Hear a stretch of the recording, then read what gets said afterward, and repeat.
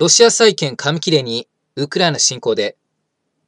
ロシア軍のウクライナ侵攻を受け、スイスの銀行である UBS などが、ロシア政府やロシア企業が発行する債券の価値を引き下げました。一部の債券は価値がゼロとなり、文字通り紙切れとなっておりますが、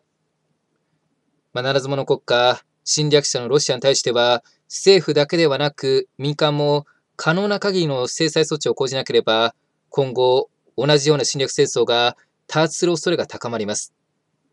国民の皆様には、ロシアやベラルーシの商品やサービスを購入しない、利用しない形でご協力をお願いいたします。以上になります。ご清聴いただきありがとうございました。